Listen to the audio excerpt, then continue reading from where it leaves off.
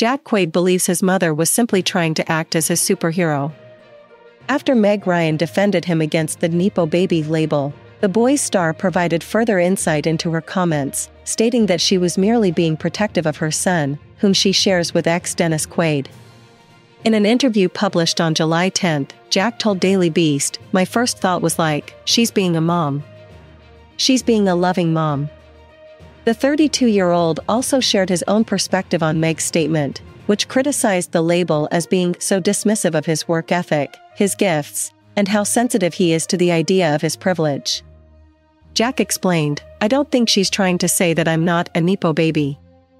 I think she's just trying to say that, in her opinion, it undermines my talent, he continued. I don't think it undermines my talent. I know that I work hard, and I know I've heard no way more than I've heard yes. However, Jack acknowledges that Hollywood is insanely hard to break into and that he had an easier time doing that than most. He added, both things can be true. So, no, I don't think she was trying to say that I'm not a privileged person. She knows. She must know. Jack expressed his views on the nepotism debate by stating, Regardless of my actions, I will always be the center of attention. He acknowledged being labeled as a Nepo baby and admitted to his immense privilege and early representation, which he believes gave him a significant advantage.